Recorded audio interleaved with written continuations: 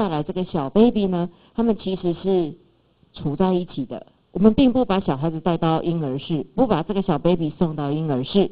好，那 rooming in 有一个观念，第二个哈，第一个它是 for 二十四小时，也就是全天候。你住院三天，那么你就三天就跟在妈妈的身边。剖腹产住院六天，六天都跟在你身边。好，所以它是 for 二十四小时，中文就叫做全天候。就叫全天候。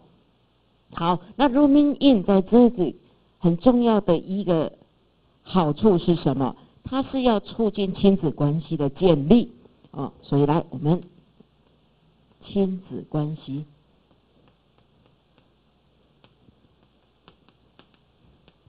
的建立，好，这种观念啊，这个目的要达到好，所以他们会鼓励。所谓母婴同事，当我们看到一个东西叫做 B 这个答案项，后者也就是家庭为中心的护理，它讲求的是什么？那以家庭为中心的护理，刚刚我们讲过，很重要的一个观念是 rooming in。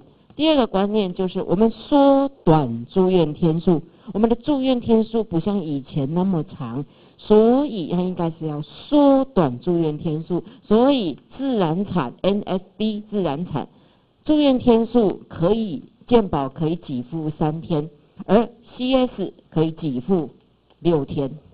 好，那国考会再继续问你，这样子的住院天数算是短还是长？算是短。好，那这样子缩短住院天数，它的目的在做什么事情？目的说就是说，你这个做父母的，你们要自己负起照顾的责任。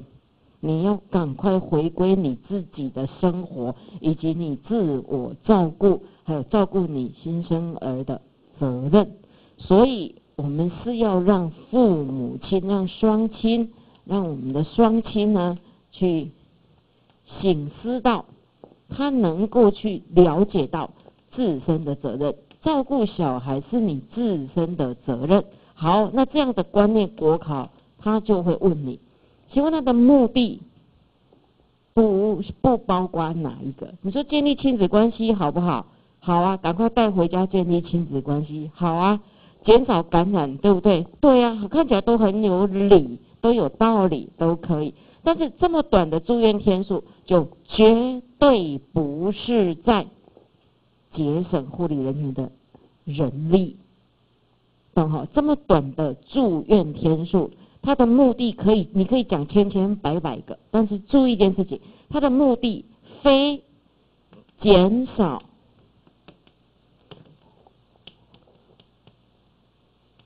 护理人员的负担，它不是来减轻护理人员的负担。哦，你要减少，那赶快出院，我减轻我的负担，不是。好，OK，请你注意这一个观念。好，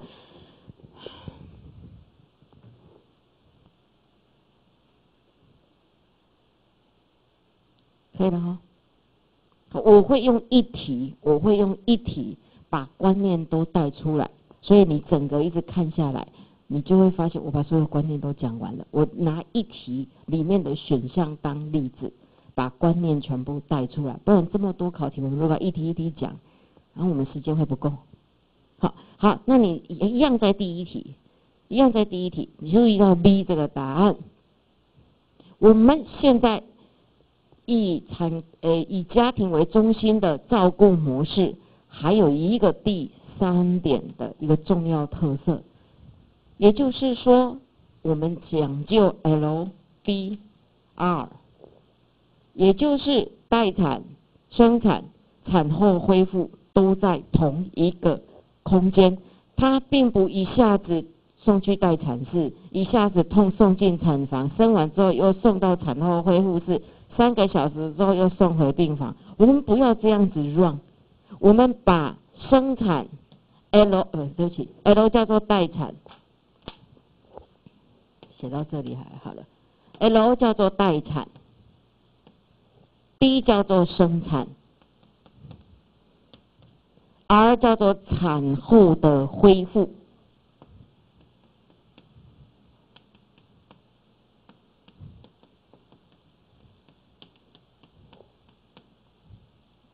这个是 r 三个东西，三个，三件事情，我们都把它放在同一个空间。好，OK，所以我们不去转换空间，好，不去转换空间。不要看它是零五年的国考题，到现在还在考，只是我把题目一直排序到后面去，但是观念仍然是这一题的观念在转。好，所以 LDR 三件事情都在同一个空间，那么同一个空间目的在干什么？我不要去转换空间，我就不会有那么多的适应不了，那么多的恐惧，那么多的焦虑。OK。好，所以我在同一个空间就产生一个好处，我可以减轻这个个案的焦虑。好，所以它的目的在于减轻焦虑。好，因为医院已经是让个案觉得很陌生的一个空间，那你又一直换空间，他其实会很害怕。所以我目的在减轻焦虑。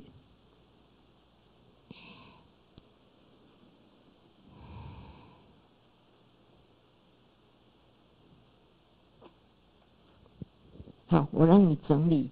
好，你想要整，所以我觉得比较好的是你旁边有一个笔记本。好，那你找去找你认为你不太懂的写下来。我想这些有很多同学都懂，你就按那改鬼。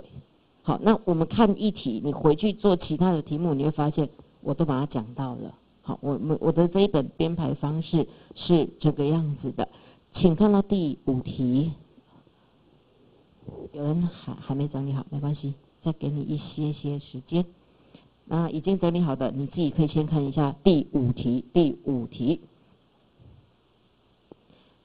好，下列何者不是以产科为，呃，以家庭为中心的护理？好，以家庭为中心的护理，我们看第一个答案，将生产环境布置成家庭化。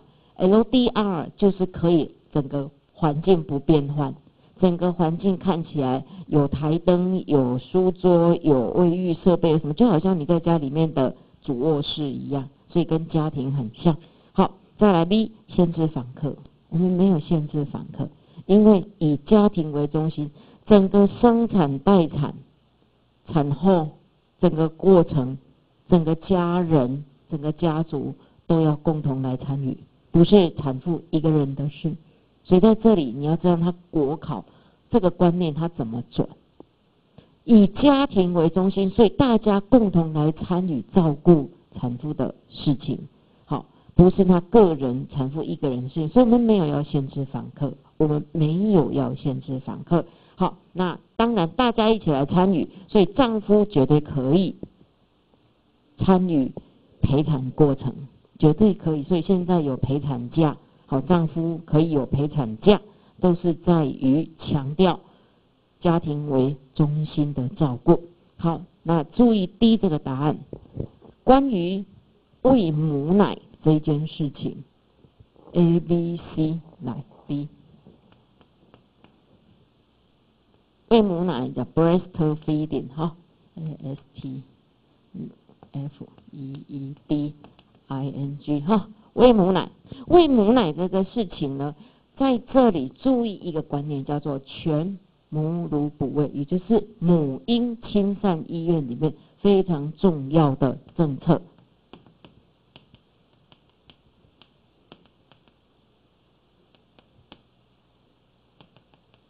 母婴亲善政策，或者母婴那个单位就叫母婴亲善医院，而那个政策就叫母婴。亲善。